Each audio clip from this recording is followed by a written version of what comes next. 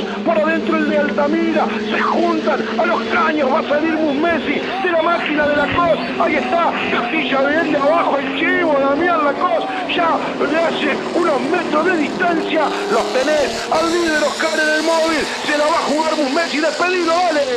Exactamente, ahí está, hizo la del Chencho Reyes al cuando pasaba frente a su gente, ahí viene la Cos para frenar una vez más, con diferencias considerables, estiramos Messi, pero la cosa está bien pisado y va para la recta, lo tenés para la victoria. ahí está, pisa la recta principal, va a ganar el de Altamira, Damián, la Cos,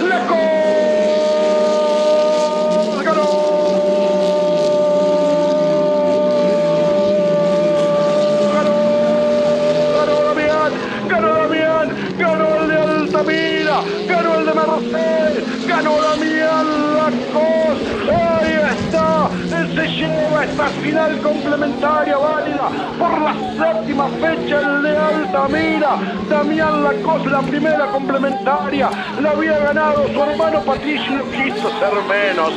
no quiso ser menos Damián Lacos y se quedó con esta segunda final complementaria de la limitada belgranense, había largado sexto, se queda con la victoria el rey del salame mercedino, Damián Lacos, se alza con la victoria en la séptima final complementaria